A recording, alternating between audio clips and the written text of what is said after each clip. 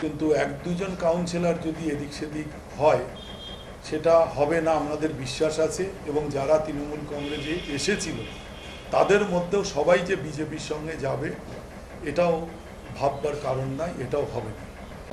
তেইশে এপ্রিল আর তেইশে আর কতজনকে বলব? বহুজন এরকম আছে। ওই আমরা যদি চেঞ্জ করি, তখন আমরা দেখব কাকে চেয়ারম্যান বানাবো, কি কাকে করব না। বারো তেরো জন। বারো থেকে তেরো জন আছে। বারো থেকে তেরো জন।